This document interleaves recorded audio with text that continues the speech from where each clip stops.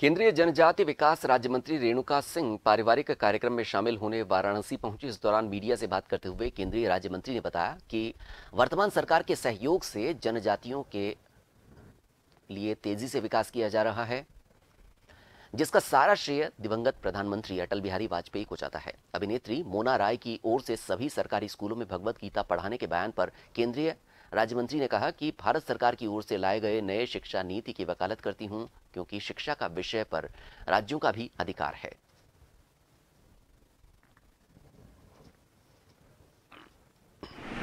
उन्नीस सौ निन्यानवे में स्वर्गीय अटल बिहारी वाजपेयी जी ने जनजातियों के संरक्षण के लिए संवर्धन के लिए, उनके विकास के लिए जनजाति मंत्रालय का गठन किया था।